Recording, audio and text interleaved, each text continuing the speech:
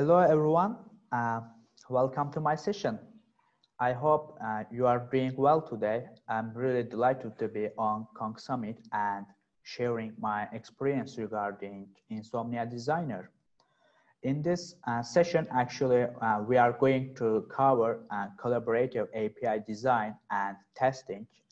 I'll be happy uh, to answer questions throughout the presentation. Well, I'm, I really love to be in teamwork and obviously Insomnia Designer helps with it a lot. I hope uh, my speech will be helping to change your perspective about API development and of course in a positive way. Uh, before we get started, uh, let me briefly introduce myself. Uh, my name is Mert. I've been working as a software developer for five years and I'm a developer who wants to learn more somehow.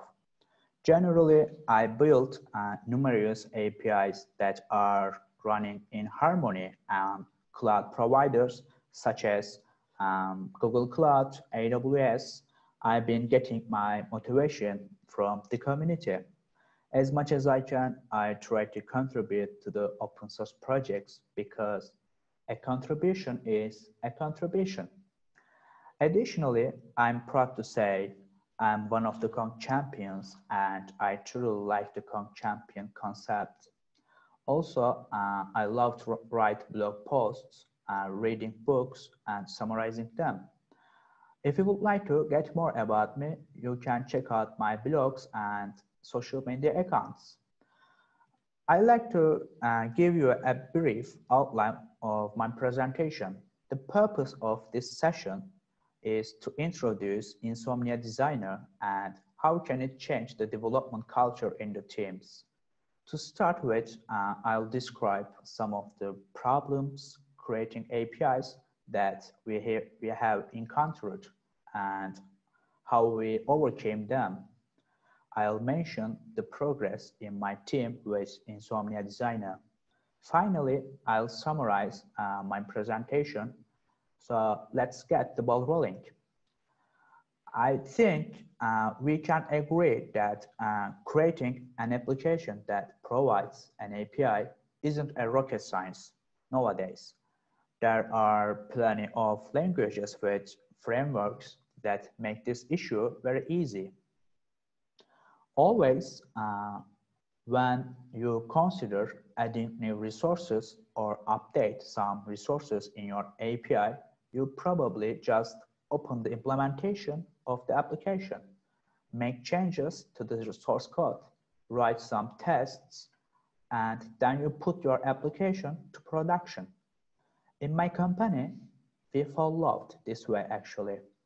After a while, unfortunately, we encountered some issues. Uh, for instance, uh, we were supposed to validate our API implementation against the documentation.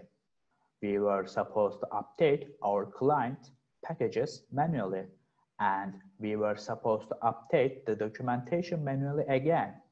You can notice that there was a lot of manual steps in our development process. By end of the day, we need to change our mindset and approach. Spec first API development gave us a hand.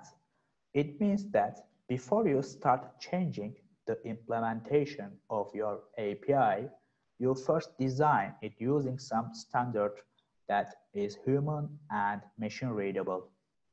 Since the specification is machine readable, we could validate our API implementation with tests that are being automatically generated from the specification. Our API clients and documentation are also mm, generated automatically. With this approach, we saved, we really saved a lot of time by removing required manual steps and we made the API review process more friendly because no one had to actually go through our code just to review our API proposal. They lead me to the next point. This approach demanded some standard to describe the API. Apparently, uh, the solution was the OpenAPI specification. It allows you to describe your API either in JSON or YAML. There are a lot of tools that can consume OpenAPI specification to generate documentation, clients, tests, mock server, etc. This way uh, increase our productivity and we could start focusing on problems that are actually important. We had spec first API development with OpenAPI and everything was fine in technical, but we still got some problems about sharing and managing these specifications. Now, I would like to mention designing, building, and testing APIs as a team. We have faced a lot of problems, challenges, and considerations. For instance, adding any member. Imagine that, adding any member into the team or communication obstacles, writing and publishing the documentation, and having awareness regarding the smallest change. Currently, I write APIs for our backend developers. Right now, I, I never see any front-end screens, colors, or form inputs. The company which I work it provides mobile and web games. We have an API team and we need to write APIs in collaboration. We use some tools and we have some approach for creating APIs. However, they are used by us for writing APIs. The first time, a tool helps us with building APIs and at the same time building an API team. Uh, that tool is Insomnia Designer. It is an open source desktop application that can be installed on Mac, Windows, or GNU Linux. If I need to tell the truth, uh, it already has a great reputation as a tool for interacting with APIs like REST and GraphQL, but it has now branched out uh, into API design. Insomnia Designer uh, is a collaborative tool for creating and managing and sharing API specifications we use that since the beginning of this summer. My aim to tell how insomnia works for us as a team rather than explaining its technical side. Because API teams have some differences according to other software development teams. Our products are only APIs. All developers are focused on them. The keywords are relations and harmony. The first crucial thing is insomnia is helpful to share clear description um, of how to interact with the team behind our APIs. In this way, we humanize our technical relations and remove communication barriers.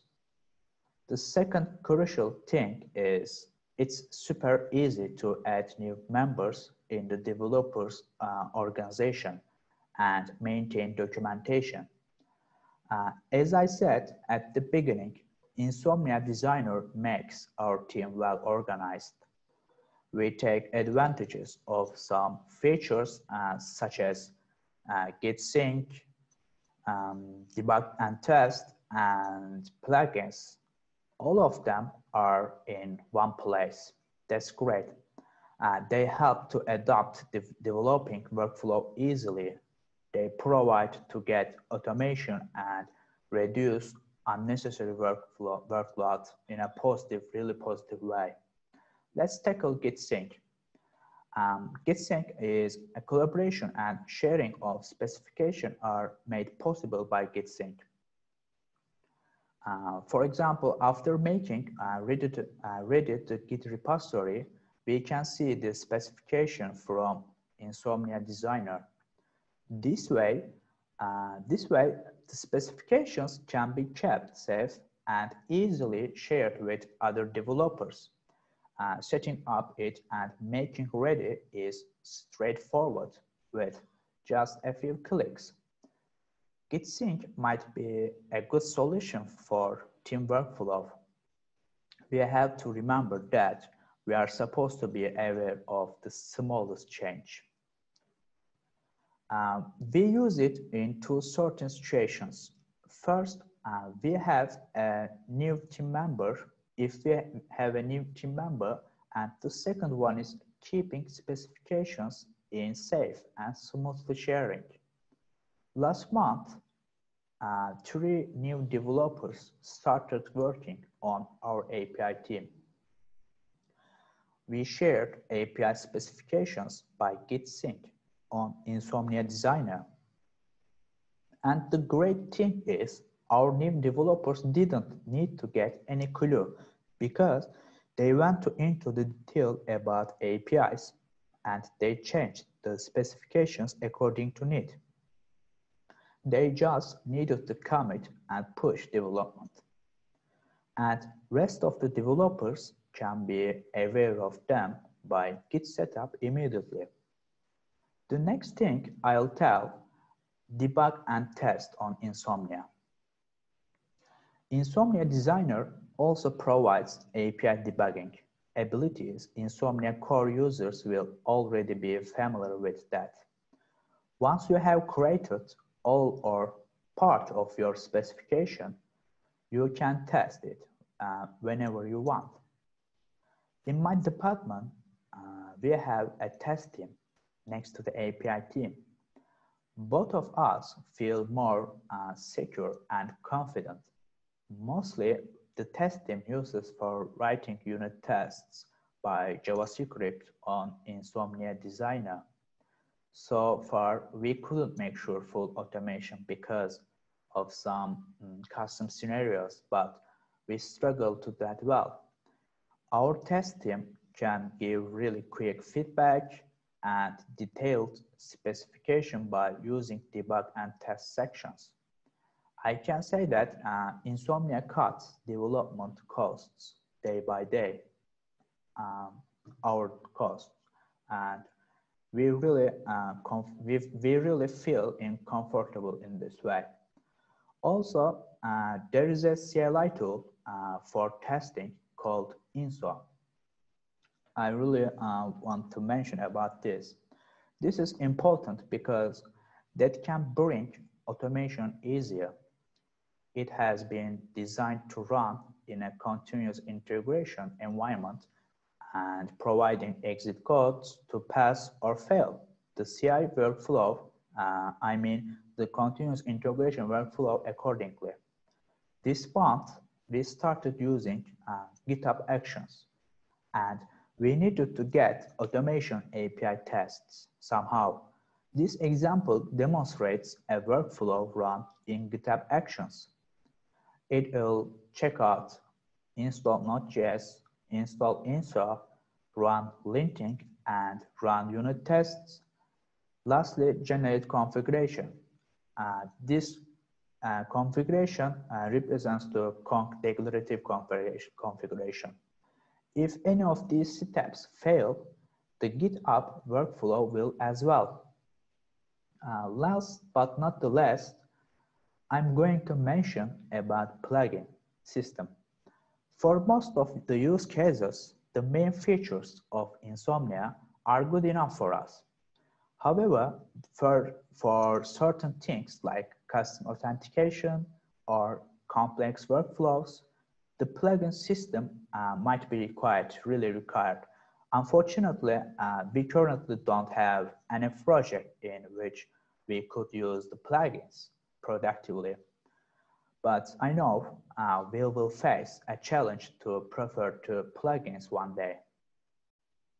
Um, I just, yeah, I just wanted to you be aware of it because we can write our plugins according to need.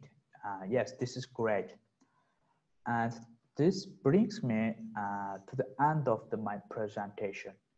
I've talked about Insomnia Designer focuses on the collaborative development of APIs. The built-in Git functionality allows you to version and share your specifications quickly and easily and in keep safe. I drastically recommend anyone who is considering to use OpenAPI or already uses it but hasn't found a suitable development platform yet to test the program themselves. So thank you for having me and listening to me. It was a pleasure being here today. I hope that my presentation today will help and bring a new perspective somehow.